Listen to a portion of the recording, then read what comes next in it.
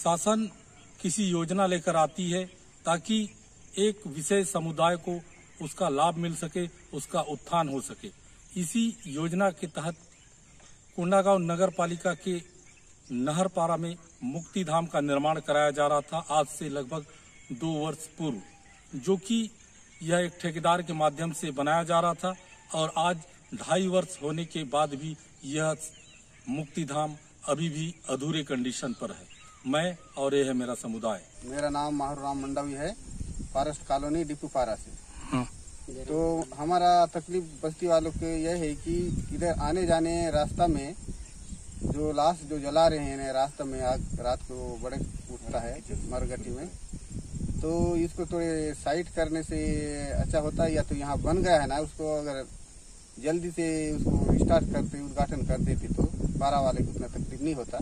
कि रात के समय बच्चे लोग आते हैं बड़े भी आते हैं सबको डर लगता ही कि रात के समय आग जलाते समय देखने से हम लोग जो रात को आते हैं रोड की साइड रोड के साइड में आग बढ़ के रहता है तो आ- आपस जाने बनता ना इधर आने बनता नहीं। अब डर को संभाल करके अपने घर में पहुँचना पड़ता है यार। इसके लिए कुछ न कुछ प्रशासन करके हमारी फॉरेस्ट कॉलोनी की पारा वाले मन के कुछ हल निकाले मेरा नाम उमेश कुमार मंडावी है। मैं फॉरेस्ट कॉलोनी आलबेड़ा डिपो पारे का रहने वाला हूँ।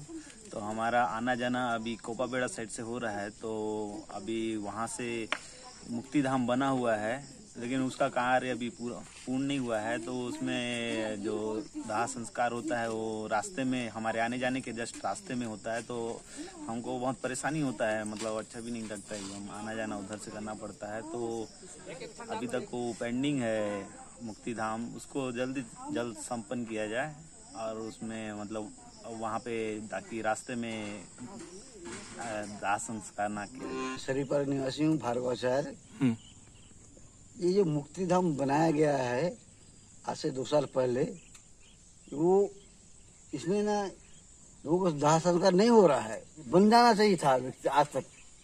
मतलब जबकि इसके निर्माण होना चाहिए था इसके निर्माण होना चाहिए इससे आम व्यक्ति को पसंद ना हो, बगल में जाके अपना दाह संस्कार ना करना पड़े यही मेरा विचार है कि ये कि हमारे समाज का एक आवाज़ है हमारी। नगर पालिका द्वारा बनाया गया था, क्या कमी आई कि एक सब कुछ बन गया है, लेकिन कुछ कमी है।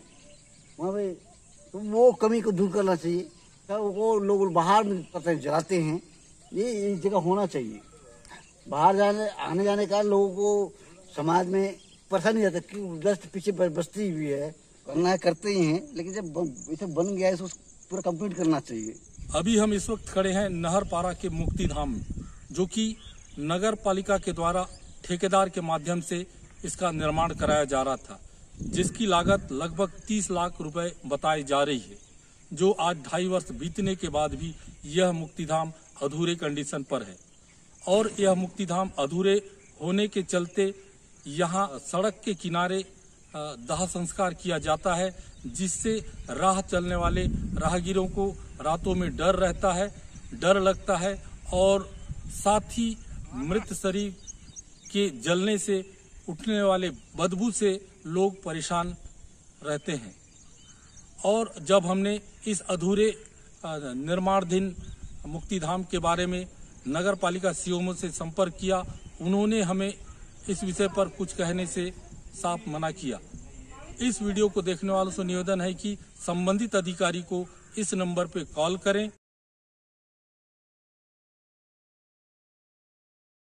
ताकि यह अधूरा मुक्तिधाम जो कि सर्व सुविधा युक्त बनाया जा रहा है, वो पूर्ण हो सके और समुदाय को इसका लाभ मिल सके। साथ ही इस वीडियो को अधिक से अधिक लाइक करें, शेयर करें, कमेंट करें।